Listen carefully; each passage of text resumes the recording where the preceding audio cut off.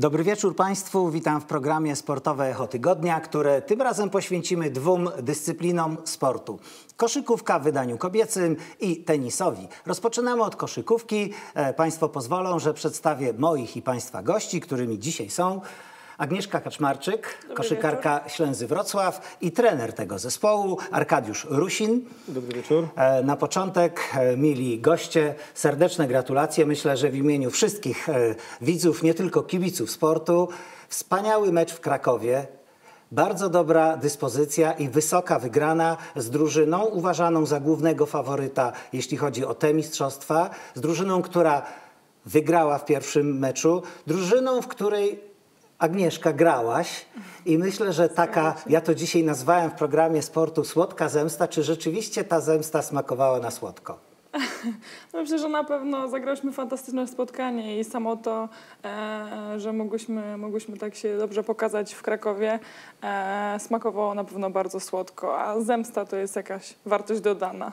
No ale jednak e, udowodniliście, że ten mecz e, od początku był pod wasze dyktando. Pamiętam, jak byliśmy z naszą kamerą e, na treningach i pytam się trenera, panie trenerze, przecież Sylwester, dziewczyny muszą jakieś kreacje przygotować, my trenujemy, a pan powiedział, że przegląda zaległy mecz. Opłaciło się trenować tak dużo. Czy myślę, że to tak, tych meczów się dużo ogląda przed każdym spotkaniem i to później wynika z jakiegoś dobrego przygotowania. Byliśmy dobrze przygotowani na ten mecz, ale to przygotowanie nie zawsze wystarcza, bo to przede wszystkim dziewczyny muszą na boisku pokazać dyspozycję. E, W sobotę dyspozycja była bardzo dobra i nie ma, nie ma co wracać do Sylwestra, minął. Minął, Teraz, teraz się rok- cieszymy y, zwycięstwem. Ale rok, trzeba przyznać, bardzo szczęśliwie się zaczął, dlatego że wygrana z Wisłą, uczestnikiem e, no, europejskich rozgrywek, e, drużyną naprawdę e, dużego formatu, e, smakuje szczególnie. E, Kolejna stali czterech Agnieszek trenera Arkadiusza Rusina, bo to imię jest chyba najpopularniejsze w tym zespole. Agnieszka Majewska również e, przeciwko swoim byłym koleżankom pokazała się z jak najlepszej strony. Czy właśnie takie mecze dodatkowo mobilizują, bo są przecież kibice, którzy was pamiętają, są znajomi i wtedy gra się jeszcze na powiedzmy e, na wyższym poziomie? Myślę, że na pewno ma to wpływ, ale ten pierwszy mecz, który grałyśmy z Wisłą, e, przegrałyśmy w, ostatniej w ostatniej kwarcie i myślę, że to najbardziej pa, pamiętałyśmy I. I, i to nas najbardziej bolało i chciałyśmy się przed tym ustrzec w tym spotkaniu, dlatego byliśmy skoncentrowane od, od samego początku. Panie trenerze, pan e, powtarza, że ma pan zespół, że w zasadzie jest niby ustawiona pierwsza piątka, ale ona jest zmienna w zależności od przeciwnika, od tego, jakim potencjałem ten przeciwnik dysponuje. Wszystkie zawodniczki mają równe szanse, one mają tego świadomość, bo uczestniczyliśmy w wielu treningach, widzimy, że tam jest oczywiście przyjaźń, troszeczkę się podchodzi do tego inaczej niż na meczu, ale tam widać rywalizację o miejsce. To chyba bardzo dobrze. To cieszy każdego trenera. To znaczy od tego jakby zaczyna się cała praca. Jeżeli nie będzie rywalizacji na treningu, to ciężko później wyjść na mecz i w warunkach już takich y, stuprocentowych pokazać dyspozycję, jeżeli nie możemy tego na 100% przećwiczyć. A y, myślę, że no, wiadomo jak to z trenerami jest. Bywa się niezadowolonym z tego, jak treningi wyglądają, ale y, na pewno, na pewno ta rywalizacja jest duża. E, Ten mecz pokazał, że nawet szybkie faule Nikki Green, która jest podstawową naszą wysoką zawodniczką, kiedy ona spadła, e, pozostałe zawodniczki pociągnęły to i takie e, znamienne też słowa z Niki zamieniłem w przerwie, że czasami to jest dobrze, bo dzisiaj te pozostałe zawodniczki pokazały, że zaczynamy tworzyć już taki naprawdę zespół, y, który za chwilę będzie się biło playoffy i wtedy każdy już ma swoją wartość, że jak pomogłam w tym trudnym meczu, to jestem w stanie pomóc w każdym. No i zgodzi się pan e, z taką opinią, że to jest jakby ta wartość dodana dla zespołu, bo niezależnie od tego, że każda zawodniczka potrafi wykonywać swoje zadanie lepiej lub gorzej, zależy też od, od, od e, dyspozycji dnia, ale właśnie fakt, że oto tę numer jeden pod koszem potrafiłyśmy zastąpić i to być może nawet grając lepiej niż ona, złożyło się na ten no, wspaniały sukces. Nie bójmy się tych określeń. Nie, podchodzę do tego, że to jest sukces. y, To jest nasz 14 mecz.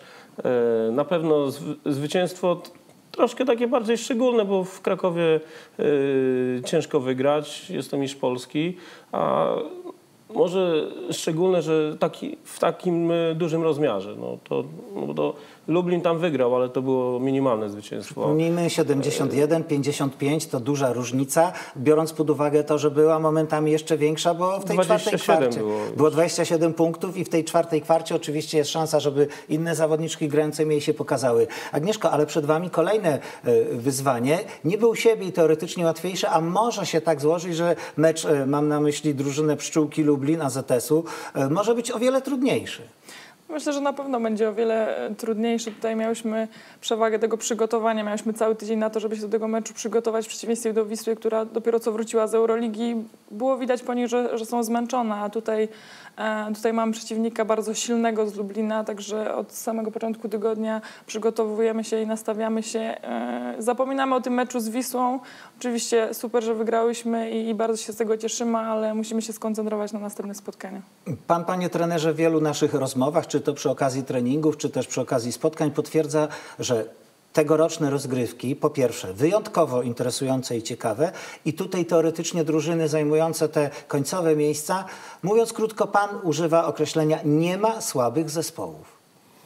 Myślę, że ta ósemka, która się już teraz y, wykrystalizowała, y, jest bardzo mocna. I tak jak y, rozmawialiśmy z trenerem Hernandezem, generalnie nawet z pierwszego miejsca nie, nie ma łatwego playoffu.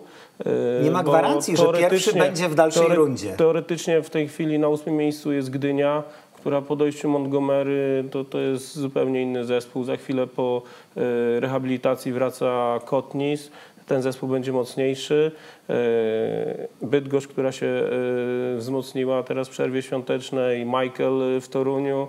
Te wszystkie zmiany powodują, że, że y, jeszcze y, te, te składy zaczynają być mocniejsze, jeszcze szersze i na pewno playoffy będą bardzo interesujące. E, Działacze, którzy no, bardzo się starają, żeby ten klub prawidłowo funkcjonował, pewnie też myślą, słuchają pana sugestii, bo ja nie znam trenera, który powiedział, że nie jest mi potrzebny nowy gracz i to najlepiej bardzo dobry. Po pierwsze, dlatego, że wzmacnia zespół, po drugie, wzmacnia rywalizację. Czy również i pan chętnie by przyjął jakąś zawodniczkę z dużym doświadczeniem w tej drużynie, która wydaje się być kompletna? Y, Ja y, w tej chwili bardzo bym chciał, żeby wszystkie zawodniczki były w optymalnej dyspozycji, y, przede wszystkim zdrowotnej.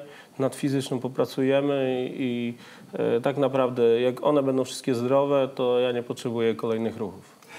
Agnieszka, to chyba miłe, że trener w was wierzy w to, co robicie, że macie potencjał i to potencjał często może nawet nieodkryty. Taka mobilizacja to chyba dobra rzecz. Na pewno myślę, że, że trener od początku wiedział, co robi, e, dobierając sobie takie zawodniczki.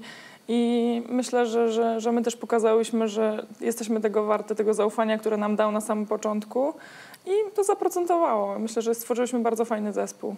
E, Rozmawiając z najwyższą z Agnieszek, Agnieszką Majewską, właśnie na tym sylwestrowym treningu powiedziała, tylko niech pan nie mówi trenerowi, bo ma urodziny, my chcemy wygrać z Wisłą e, jako prezent dla niego. Czy taki rzeczywiście był plan? No, był taki plan, bo kto by chciał spędzać swoje urodziny, nie mogliśmy świętować w tygodniu, dlatego przełożyliśmy to na sobotę.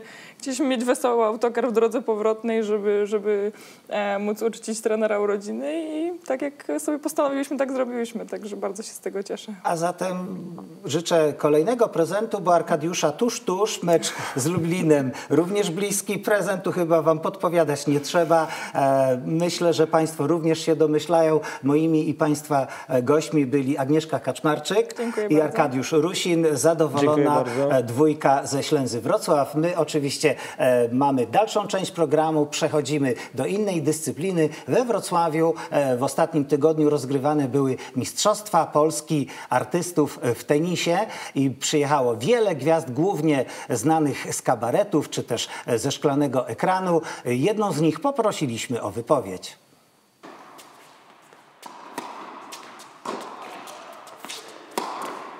Ta zabawa jest tym fajniejsza, tym bardziej gorąca, im bardziej y, zacięte są zmagania na korcie. Mm, Gdybyśmy tutaj przyjechali o tak sobie poprzebijać, to nie ma w tym momencie adrenalinki, nie ma w tym momencie właśnie takich mm, nie, nawet nie, że sporów, ale, ale, ale takich fajnych pojedynków. O, z tym przegrałem ostatnio podczas ostatniego turnieju, to jest szansa, żeby się zrewanżować, więc im te pojedynki są bardziej zacięte, zażarte, im są bardziej wyrównane, tym później właśnie ta zabawa, ta radość, ta przyjemność ze spotkania jest większa. Tutaj wynik, i nie chcę używać takiej wyświechtanej formuły, a wynik to jest w ogóle nieważne. Oczywiście, że jest ważne, każdy tutaj przyjeżdża i mówi, a wygram to, a e, będę najlepszy. Cały czas podkreślajmy, że to jest tenis na poziomie amatorskim Nie, i, i, i tu nie przyjedzie Nowak Dżokowicz, chociaż był, oglądał nas, co nas strasznie jakoś sparaliżowało. Dowiedziałem się, że nie dostał dzikiej karty. Hubert Hurkacz, tak, reprezentant Polski i patrzył na nasze tam wyczyny, na, na nasze machania rakietą. No nie dostał dzikiej karty, mimo że się bardzo starał, ale Radek Bielecki pozostał nieugięty i dziękujemy Ci Radku, bo mamy, pozostali mają szansę, żeby dojść do finału albo żeby e, znaleźć się w półfinale, a kto by wpadał na Huberta Hurkacza, jeśli, no, no w ogóle te pojedynki nie miałyby żadnego sensu. Ale wracając do, do, do y, myśli zasadniczej. Jeżeli w ten sposób y, możemy jeszcze wesprzeć jakiś wspólny cel, no to z tego, co rozmawiam z kolegami, to no, nie było absolutnie o czym dyskutować. No to, to wiadomo. Takie rzeczy się robi.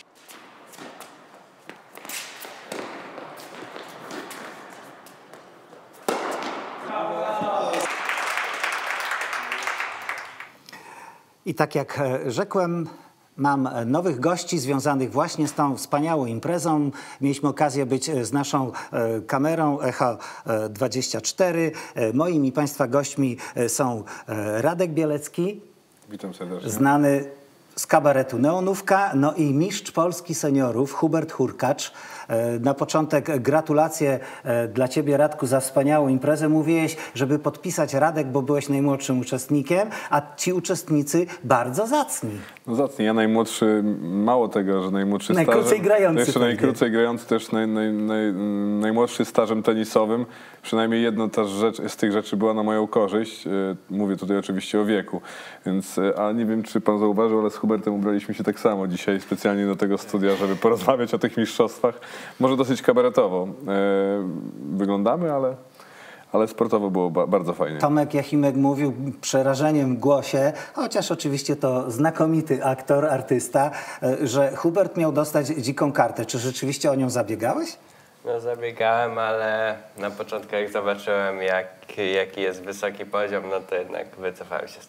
E, Dokładnie, piłki bardzo wysoko latały, Tak, wysoki piłki poziom. wysoko latały, tobie również wzrostu nie brakuje. Jeśli pozwolisz, Hubert, zanim przejdziemy do omawiania, jak rzeczywiście, co działo się e, w, e, w hali sportowej w Ślęzie, dwa słowa o twoim e, nowym sezonie. Jakie masz plany związane z tym prawdziwym tenisem?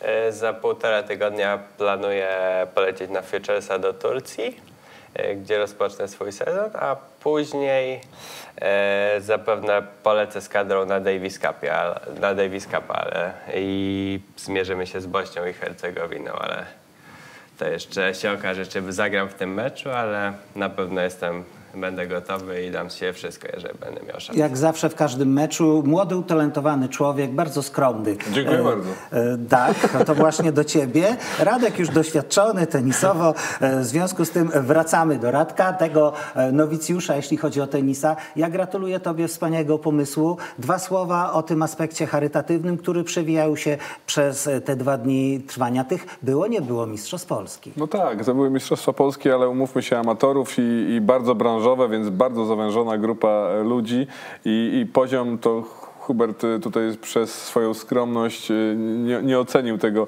jakoś radykalnie źle. No my, ja wpadłem na ten pomysł, ponieważ jeżdżę po, wielu turniejach tego typu amatorskich, artystycznych i stwierdziłem, że jak mogę zorganizować turniej pod własnym domem wręcz i spotykając się z akceptacją i tu matchpointu i gminy, która, która od razu powiedziała super róbmy, to dlaczego tego nie zrobić? A cel, fajnie mieć jakiś cel. E, przecież my tutaj nie gramy o jakieś e, wielkie puchary, a, a jeżeli możemy siebie raz w roku dać innym, to koledzy od razu się zgodzili i uważam, że to super pomysł, wypaliło. E, Na korcie, żeby wejść na kort trzeba było No właśnie, chciałem o to zapytać. Na czym to właśnie polegało? Bo widziałem wolontariuszki i wolontariuszy. Tak, wolontariusze e, Fundacji Wrocławskiej Hospicjum dla Dzieci e, stali na kortach i żeby zagrać, to trzeba było najpierw wrzucić do puszki. Niektórym się czasami myliło, bo nie wrzucali przed i później się dowiedziałem, że, że zwykle jak ktoś dawał po meczu, to wygrany dawał więcej. No tak.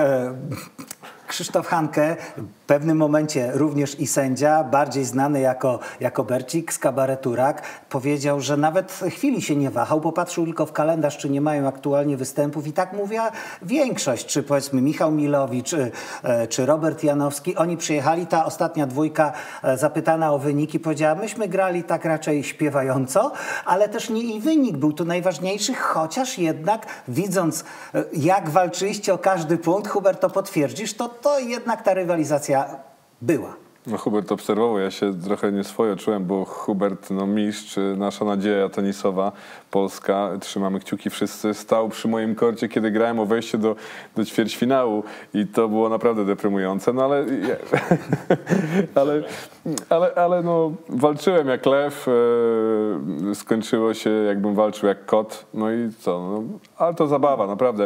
Oczywiście rywalizacja sportowa jest, bo ja też mam duszę sportowca, e, też uprawiałem sport i nie wyobrażam sobie sportu bez, bez takiej ambicji sportowej, ale no, gdzieś te ambicje chowamy w kieszeń, podajemy sobie dłonie, spotykamy się, to jest fajne spotkanie, my się często mijamy na trasie, nawet nie widzimy się, bo każdy gdzieś w innych częściach Polski gra, a tu była okazja, żeby spotkać się na korcie, jeszcze fajny cel. Do tego Hubert nas wszystkich zaskoczył, dał swoje rakiety zwycięzcom, także no, pełen sukces. Dosta, dostaję maile teraz, SMS-y od, od kolegów. Tomek Jachimek na, na przykład napisał mi, że to były najlepsze dwa dni e, jego w tym roku.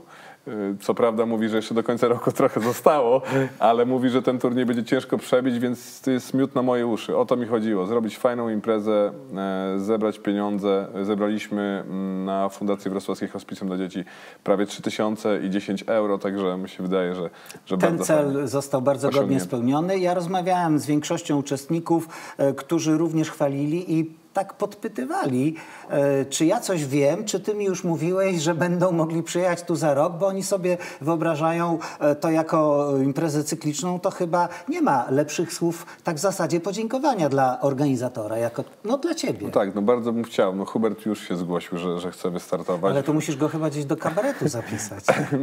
Może się uda, może, może coś razem wymyślimy. W końcu Hubert jest z Wrocławia, więc może uda się go gdzieś tam wpleść.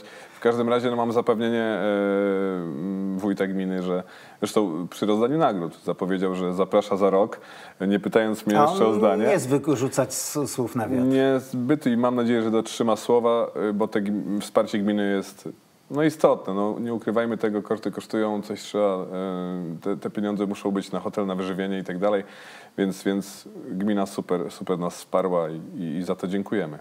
Hubert, wspominałeś najpierw o Futuresach, później o e, Davis Cupie. Udział w drużynie, w reprezentacji to chyba marzenie każdego sportowca. Ja ciebie pamiętam, e, było to jakiś czas temu, kiedy e, trener Paweł Jaroch przyprowadził cię na korty KKT e, i mówiąc, Janusz, zapamiętaj to imię, to nazwisko, taki młody, grzeczny chłopak. Zostałeś młody, zostałeś grzeczny, ale na korcie to nie masz litości dla przeciwników. To chyba jakieś takie spełnienie swoich dziecięcych marzeń. Nie no, na pewno zawsze marzyłem, żeby wystąpić w reprezentacji Davis Cupowej, także, także jedno z moich marzeń się spełniło, ale moje cele są dużo wyżej i chcę być na szczycie listy ATP, także, także jeszcze trochę drogi przede mną, ale, no, ale na, no bardzo się cieszę z tego, co robię, także to jest... Ja myślę, że jest pewna droga. Musisz to e, skonfrontować ze swoim e, trenerem. E, Powinien to uwzględnić w Twoim kalendarzu. Dwa, trzy występy w turnieju Mistrzostw Polski Artystów to e, chyba bardzo pomoże Ci w dojściu na szczyt numer jeden ATP. Jestem tego pewien. No nie, no jest to kolejne doświadczenie na pewno z innymi zawodnikami, także... Tak, no już Hubert mnie zaprosił, że mam być sparring partnerem właśnie przed Davis Cupem, także... No właśnie, ja tak sobie pomyślałem. Co jakby prawda będę tylko piłki podawał, Jakby ale całą zawsze... szesnastkę czy tam dwudziestkę ustawił w jednym momencie na korcie i Huberta po drugiej stronie, tak żeby nie było tej przestrzeni, żeby ktoś nie odbił, to No ja... to jeszcze trzeba było chyba oczy zawiązać, bo to... Tak, i nogi najlepiej. No, my sobie żartujemy, ale też chcielibyśmy, żeby w tym programie mm, gościli e, ludzie sportu, bo tak to ja odebrałem. Dla mnie e, czułem się tam bardzo dobrze e, z kamerą, dlatego że to było wydarzenie rangi sportowej. Mistrzostwa Polski w tenisie. Bardzo pięknej, wspaniałej dyscyplinie. Udana impreza. Ja bardzo serdecznie dziękuję za wizytę w studio. E, Tobie, Hubert, życzę, aby ten rok był najlepszy w Twojej dotychczasowej karierze. A Tobie, Radku, żebyś miał tyle cierpliwości, wytrwałości i mniej przejmował się porażkami. Ja byłem świadkiem tego braku awansu do ćwierćfinału. Proszę Państwa, to nie, była, to nie był kabaret, to była czarna rozpacz. I tym optymistycznym akcentem Państwo pozwolą, że dziękuję za wizytę w studio. E, Myślę, że zobaczymy się za tydzień o zwykłej porze. Do zobaczenia i usłyszenia. Dziękujemy.